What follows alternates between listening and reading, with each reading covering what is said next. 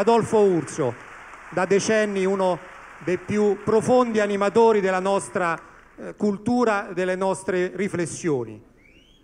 Le parole che abbiamo sentito poco fa sono le parole, sono i valori, quindi sono le azioni su cui si può fondare davvero un grande inizio.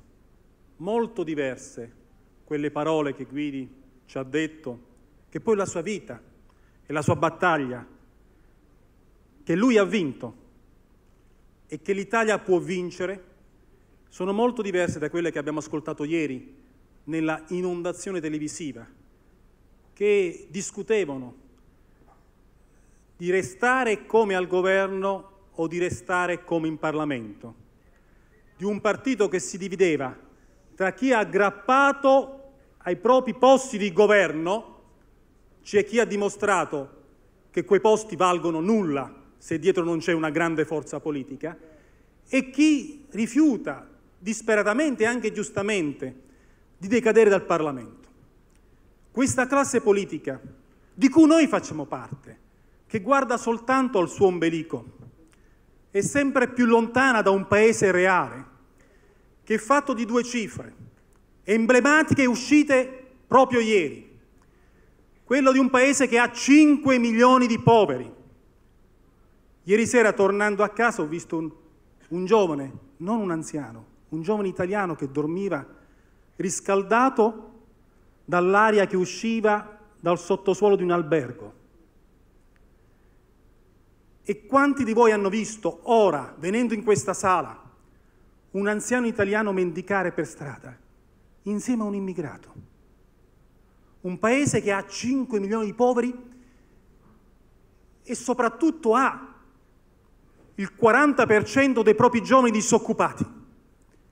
E nel contempo un paese che ha i dirigenti pubblici e privati meglio pagati di tutta l'Ocse.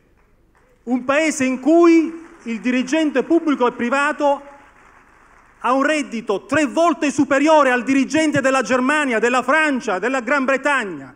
Un paese con un divario abissale che va ricomposto. E per ricomporlo, Giorgia, bisogna guardare a questo paese con gli occhi dei giovani, non di noi che abbiamo i capelli bianchi, che siamo abbarbicati a quello che abbiamo, ma dei nostri giovani che forse una pensione non l'avranno mai, tu giustamente lotti contro le pensioni d'oro, ma anche le baby pensioni.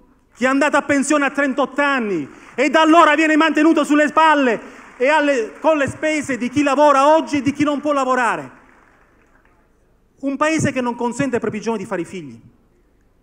Se non affrontiamo questo nodo e diamo una speranza ai più giovani, con un tasso di natalità come quello italiano che è inferiore a quello della Cina e del Giappone, anche in Cina si sono accorti che un figlio unico non produce più ricchezza.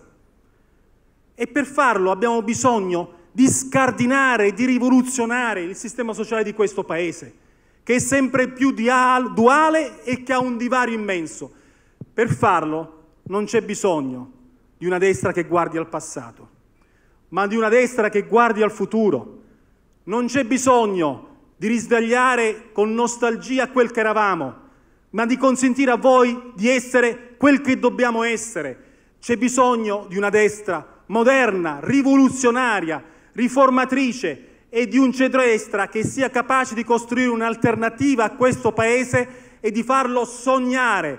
Sognare significa dargli un progetto e per dargli un progetto significa dargli una forza che aggreghi, che scuoti le montagne e lo si può fare se rappresenta innanzitutto i non garantiti, che in questo Paese sono in più, sono i giovani a cui abbiamo tolto come responsabilità di classi dirigente il loro futuro, sono gli anziani che sono tristi perché vedono i loro nipoti senza un lavoro. Questa è la prospettiva di una destra riformista e su questo è il dovere che noi dobbiamo fare chiedendo agli altri di unirsi a voi, perché Grazie. tu Giorgia e questi giovani possono fare quello che noi non siamo riusciti a fare sino in fondo, una rivoluzione incompiuta che va completata oggi più che mai. Grazie Adolfo.